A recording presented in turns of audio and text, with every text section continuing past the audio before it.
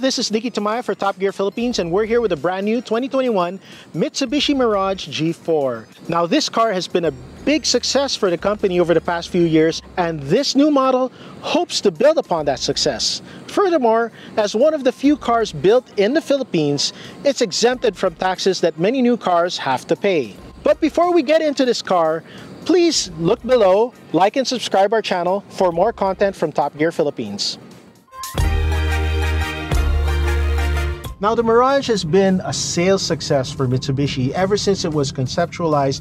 This small car has revolutionized the small car market. It started an arms race in terms of price and features that resonates to this day.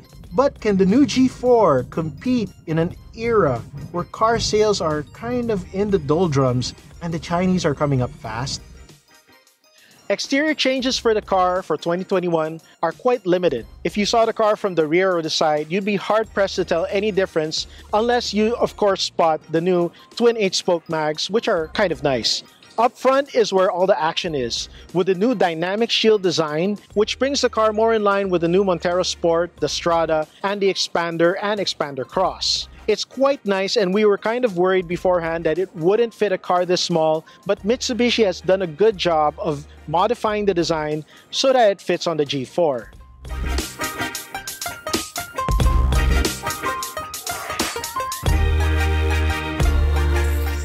On the inside, I have no complaints. I drive an old Mirage and this is pretty nice compared to the old Mirage. You still get a lot of plastics, you know, Obviously, at this price point, you don't expect much more than that. Of course, it does get upgraded seats. They've got more support now and it, they feel really nice. And you've got more bright work, a lot of piano black finishes. You've got this nice wrapped steering wheel. These new instrument gauges, they're, they're really sporty. This isn't a sporty car, but I'll let that pass. They look pretty good. But you also get this new head unit that finally has Apple CarPlay and Android Auto and I love it. With an Apple, it hooks up instantly. With Android Auto, it took a little fiddling. I finally got it to work. But once you've got it working, you can stream all your music. You can play all your music on your phone. You can use Waze. You can use Google Maps. You can do anything you want. Granted, you could do that before with the Bluetooth connection, but Android Auto just makes it so much easier to do anything.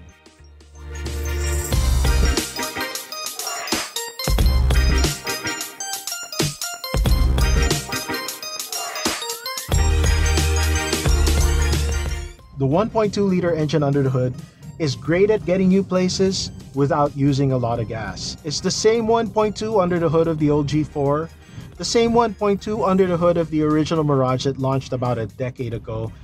But why fix it if it isn't broken? That engine is great at getting good fuel economy no matter where you put it.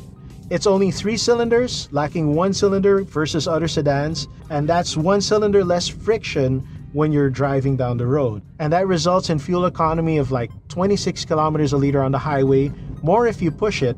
And I've pushed it and I've gotten fantastic economy with my own Mirage. The CVT it's attached to, okay, I don't like automatics, but it's responsive enough. You ask it for power, it gives you power. You switch it into B mode, and it can go faster. Well, overtake faster, you still only have 1.2 liters of displacement to get going. Driving dynamics, there's not much we can say about this car because we're only driving it around the stockyard at Mitsubishi, but it doesn't feel much different to the old G4. It does feel maybe a little firmer, a little more driving on an even keel than the old car, but we need to wait for a longer test drive to find out how good it really is.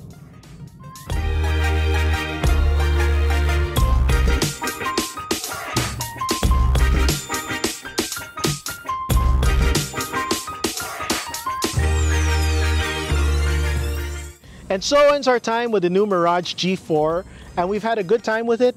It's a great upgrade over the old car. Better seats, much better infotainment system, Android Auto, Apple CarPlay. I mean, all the techies in the crowd, you know what that means. More sounds, more navigation, it's just better overall. But is it worth your consideration? Is it worth the price? Is it worth what Mitsubishi is asking you to pay for it? We don't know because we don't know how much it'll cost. Either way, it's going to be a great value it still combines that incredible interior space, incredible economy, and now it's got pretty good infotainment in a small package that's easy to use and very practical. Because not only does it offer you smaller fuel bills, that tiny engine also gives lower maintenance costs than most engines.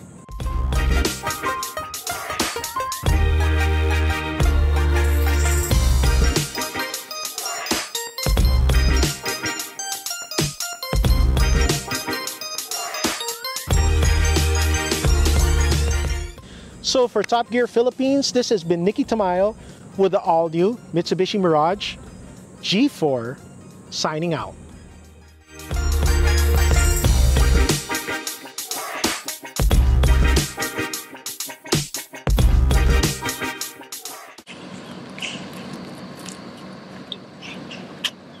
Rolling lang eh. Here we go.